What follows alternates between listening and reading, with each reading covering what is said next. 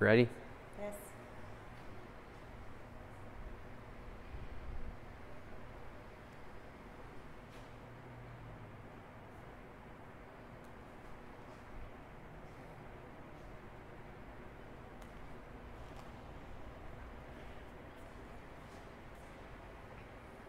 Hey everyone, so uh, we got front box squats coming up in our, in our next strength focus. We just had our first one this week on, I believe it was June 26th, I think, Tuesday, something like that. Was Wednesday, 27th, something like that. So uh, we're just gonna do a quick review of what that looks like. Uh, so when you come into classes, we don't have to spend as much time going over the points performance of what we wanna see. So front box squat, we've done before. Uh, Trishan's gonna demo a couple squats here. So the first thing is getting the proper setup. We're gonna use a very low box, so we're just out of the bottom of that very bottom section of your squat. So Trishan's, Trishan's gonna go ahead and squat to that box. And you can see she's right below parallel. She's really close to that bottom. So if you just kind of stand up and then just take a step forward, so you squat all the way down off the box, so you can show where the bottom of your squat is. So you can see your hips are going to go almost just below that plate. But now if she sits a little higher, that's going to be about where the plates are. So take a head, stand up. So the point of this is a couple things. One, to get great depth in your squat.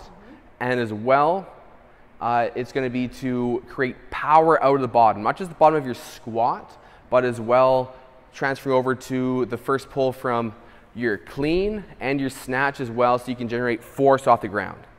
So uh, let's go ahead and grab that bar and do a couple squats and go over a couple of common faults that we might see sometimes. So let's just go ahead, let's do one really good squat. We're gonna have a tempo. She's gonna go nice and slow on the way down, pause in the box, she's gonna stand up. So now she did a great job. Let's say maybe a little slower. So let's go three seconds on the way down. One, two, three, two seconds, one, and stand. Good, take a rest. Good, so she did a great job of keeping her torso nice and upright the whole time. So a couple of faults that we see, one is gonna be relaxing too much. So let's see that, relaxing too much on that box. And you see just that little bit, she starts to crunch forward and now try and stand up. And she's a little bit kind of crunched forward there. So stay nice and tight. Let's do one more, a good one again. Stay nice and tall in the chest, strong in the rack and stand. Much better. Okay, put it down, take a rest.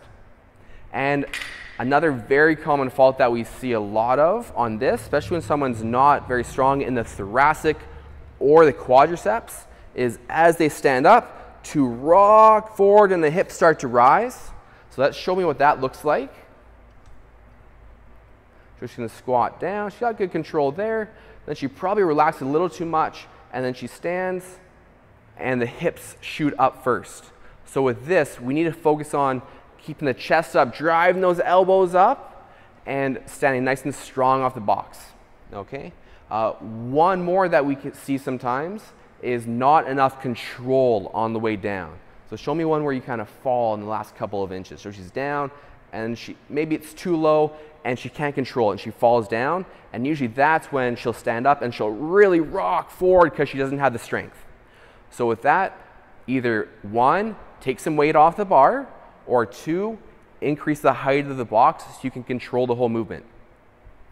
So with that strength focus piece, we have those three sessions at the same weight, increase the weight, so on and so forth for about five different cycles. With the front box squat, you can either increase the weight or decrease the height that you're squatting to. Either way, making it a little more challenging for yourself each time. That is the front box squat.